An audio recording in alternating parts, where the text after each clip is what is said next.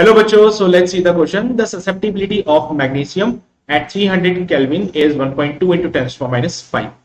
At what temperature will the susceptibility be equal to 1.44 into 10 to the minus 5? The first option says 260 Kelvin, second option says 255 Kelvin, the third option says 250 Kelvin, and the fourth option says 400 Kelvin.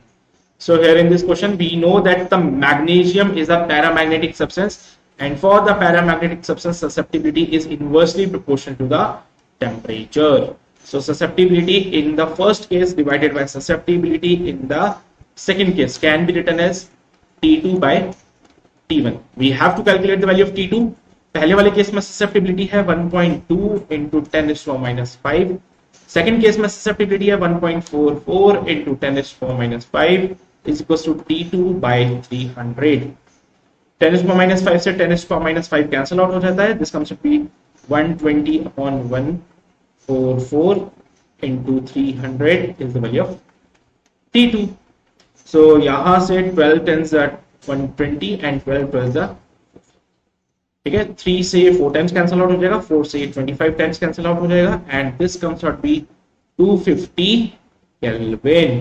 Okay three four are 12, और four into twenty करेंगे तो hundred cancel out हो जाता है so 250 kelvin is the right answer जो कि हमें मिलेगा सी ऑप्शन में and hence our option C is absolutely correct so I hope you got the concept of this question all the very best